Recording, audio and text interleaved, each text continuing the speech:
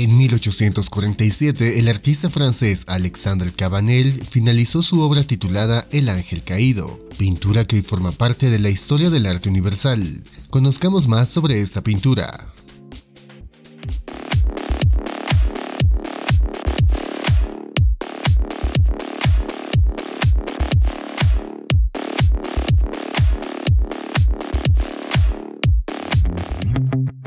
El Ángel Caído es una pintura del artista francés Alexandre Cabanel. Fue pintado en 1847 cuando el artista tenía 24 años y representa al diablo después de su caída del cielo. El cuadro se encuentra en el Museo Fabre de Montpellier. En 1845, mientras estudiaba en la Escuela Nacional de Bellas Artes, Cabanel ganó el segundo premio de Roma, lo que le permitió trasladarse a Italia durante unos años. Como todos los demás residentes, tuvo que enviar cuadros periódicamente para atestiguar los progresos que estaba realizando durante su estancia en Roma. En este contexto pintó El Ángel Caído, en 1847. Cabanel opta por un tema poco representado en la pintura francesa, la caída del cielo del ángel caído, que pasó a convertirse en el diablo.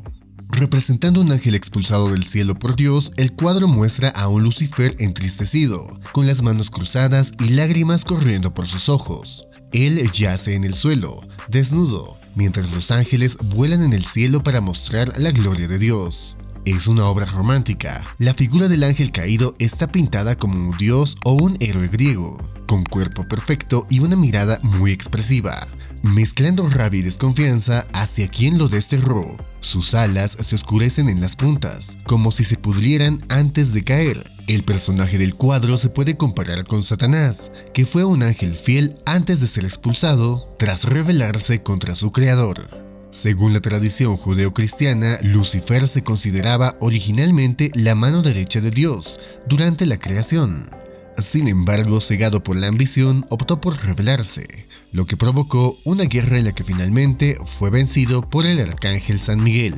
En la cultura popular, Lucifer ha sido identificado con la figura del diablo o demonio. Su nombre en latín, que significa portador de luz, contrasta con el título que recibió después de su caída, Satanás, que en hebreo significa adversario. Así, Lucifer pasó de ser una figura celestial a un ser despreciado que buscaba constantemente desafiar a Dios y su reino. Según el relato del Apocalipsis, el bien triunfó sobre el mal gracias al liderazgo de San Miguel, quien logró derrotar a Satanás y a sus ejércitos rebeldes.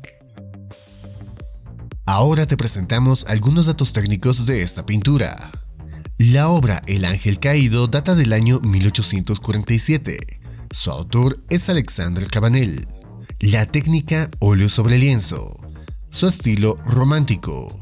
Tiene una medida de 120.5 por 196.5 centímetros y se encuentra en el Museo Fabre en Montpellier, Francia. Coméntanos tu opinión de esta obra representativa de Francia. Suscríbete para más contenido como este y déjanos saber si el video te gustó. Hasta la próxima.